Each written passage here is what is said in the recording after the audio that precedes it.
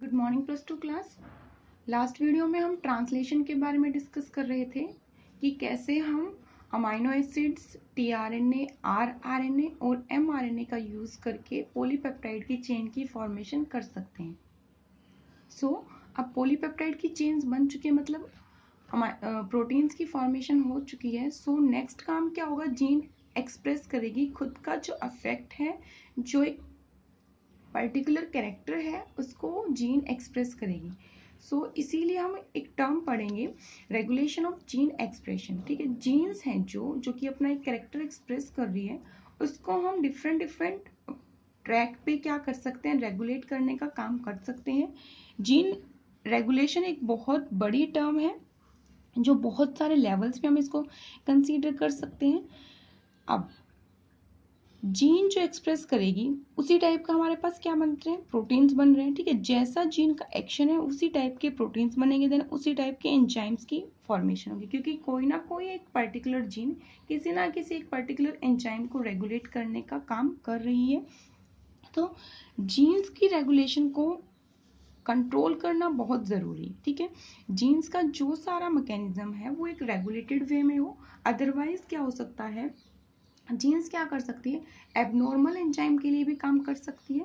सो so, इसीलिए हम क्या पढ़ रहे हैं? रेगुलेशन ऑफ़ जीन एक्सप्रेशन अब जो जीन्स के एक्सप्रेशन उसको हम किस लेवल पे रेगुलेट कर सकते हैं? मेन हम पढ़ेंगे कि हमारे पास फोर लेवल्स हैं जहाँ पे हम क्या कर सकते हैं? जीन के एक्सप्रेशन को रेगुलेट कर पाएँगे। फ़र्स्ट क्या है?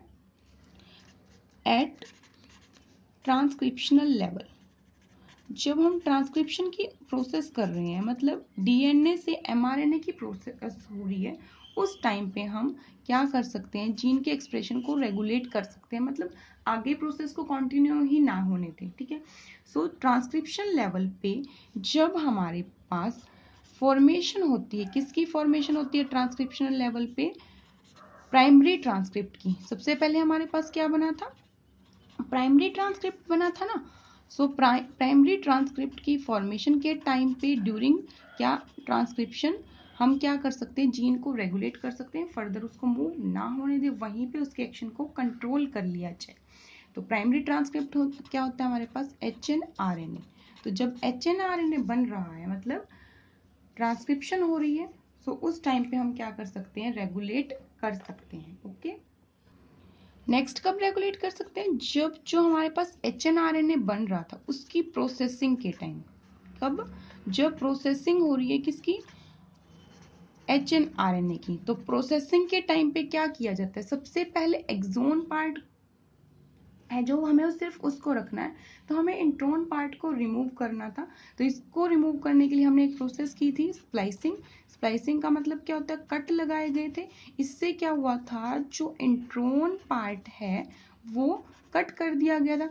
और फिर एक्सोन पार्ट को क्या कर लिया था? हमने ज्वाइन कर लिया था, क्योंकि एक्सोन पार्ट क्या होता है? कोडिंग पार्ट है। तो सिर्फ़ हमें एमआरएनए में किसकी रिक्वायरमेंट है? कोडिंग जो कि हमारा एक्सोन पोर्शन है, उसकी रिक्वायरमेंट है। तो या फिर हम processing of H R N A के टाइम पे भी ये काम कर सकते हैं। थर्ड क्या होगा? जब ट्रांसफ़र किया जा रहा है एम आर एन ए का। एम आर एन ए की फॉर्मेशन कहाँ हुई थी? एम आर एन ए और डीएनए दोनों की फॉर्मेशन कहाँ होती है? न्यूक्लियस में। So during transfer of M R N A from nucleus to cytoplasm ठीक है? क्योंकि साइटोप्लाज्म में क्या होगा? प्रोटीन की सिंथेसिस होगी तो न्यूक्लियस से एमआरएनए को साइटोप्लाज्म तक ट्रांसफ़र किया जाता है। उस टाइम पे भी हम जीन के एक्सप्रेशन को रेगुलेट कर सकते हैं। और लास्ट जो फाइनल हमारे पास रेगुलेशन का मैकेनिज्म है, किस लेवल पे कर सकते हैं, वो है ट्रांसक्रिप्शन ट्रांसलेशन लेवल पे। तो क्या है? ट्रांसलेशन लेवल पे भी हम कर सकते हैं। ट्रांसलेशन के बाद तो क्या हमारे पास प्रोटीन्स की फॉर्मेशन हो जाएगी? उसके बाद हमारे पास कोई रेगुलेटरी मैकेनिज्म नहीं हो सकता। सो लास्ट लेवल क्या रहेगा हमारे पास? ओपेरोन सिस्टम रहेगा। ठीक है? सो नेक्स्ट हम डिस्कस कर रहे हैं अबाउट ओपेरोन सिस्टम ठीक है? ओपेरोन सिस्टम बहुत एक इम्पोर्टेंट पॉइंट है। इसको आप बहुत अच्छे से करेंगे। आज सिर्फ़ इंट्रो होगा। नेक्स्ट वीडियो में इसके सिस्टम के बारे में डिस्कस करेंगे कि कैसे कैसे वर्क हो रहा है। सो ऑपरेटिंग सिस्टम में क्या हो रहा है?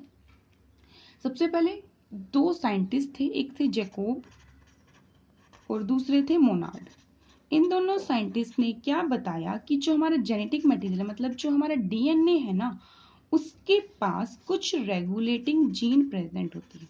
क्या प्रेजेंट होती है? रेगुलेटिंग जीन प्रेजेंट होती है, जो कि क्या कर सकती है? रेगुलेशन कर सकती है, एक प्रॉपर करेक्टर्स को रेगुलेट कर सकती है जीन के एक्सप्रेशन को रेगुलेट किया जा सकता है. ओपेरोन क्या होता है? सबसे पहले डेफिनेशन हमें पता होनी चाहिए। Operon is a part of genetic material is a part of genetic material which act as single regulating unit ठीक है? ओपेरॉन वो पार्ट होता है जेनेटिक मटेरियल का, जो कि एक सिंगल रेगुलेटिंग यूनिट की तरह एक्ट करेगा। अब इस ओपेरॉन के कुछ पार्ट होते हैं, ठीक है? ओपेरॉन के क्या है? कुछ पार्ट है।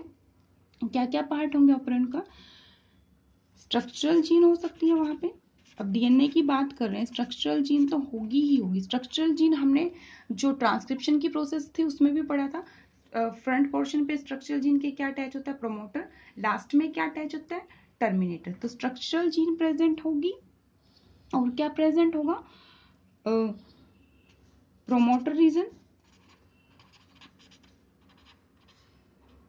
प्रोमोटर रीजन है तो प्रोमोटर जीन्स लिख देंगे और एक रिप्रेसर रिप्रेसर का मतलब क्या? जो किसी भी काम को रिप्रेस कर रहा, रोकने का काम कर रहा, और हम बोल सकते हैं इसको रेगुलेटर जीन ठीक है?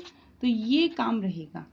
ओपरॉन एक सिस्टम है जो कि जेनेटिक मटेरियल का पार्ट है। एक सिंगल रेगुलेटिंग यूनिट की तरह काम कर रहा है एक्शंस को कंट्रोल करने का काम कर रहा है। इसके तीन मेजर पार्ट होंगे स्ट्रक्चरल जीन प्रोमोटर जीन और एक रिप्रेसर और we can say regulator gene ये रहेंगे। ठीक है? ओपरन सिस्टम प्रोकैरियोट्स में बहुत कॉमन है ठीक है? सो so, यहाँ पे हम प्रोकैरियोट्स के बारे में डिस्कस करेंगे जो भी ओपरन सिस्टम होंगे। दो मेन ओपरन सिस्टम होते हैं। टू टाइप्स होंगे ओपरन सिस्टम के। टू टाइप्स में से जो फ़र्स्ट टाइप है हमारे पास, वो क्या होता है? इंड्यूसिबल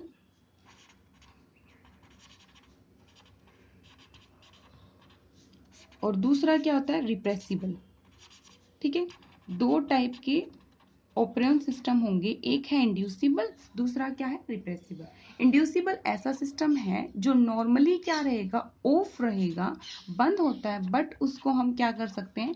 ऑन कर सकते हैं किसी स्पेसिफिक टाइम पे। इंड्यूस किया जा सकता है मतलब उसको ऑन किया जा सकता है। रिप्रेसिबल क्या? नॉर्मली तो ऑन रहेगा बट किसी स्पेसिफिक सिचुएशन के अकॉर्डिंग उसको क्या किया जा सकता है? ऑफ़ किया जा सकता है। सो so, ये काम रहेगा। ऑपरेंट रेगुलेशन का ही काम कर रहे हैं। दो टाइप के हैं। आपके सिलेबस के अकॉर्डिंग हम सिर्फ़ इंड्यूसिबल को ही डिस्कस करेंगे। आज के लिए हम बस इतना ही करेंगे। Okay thank you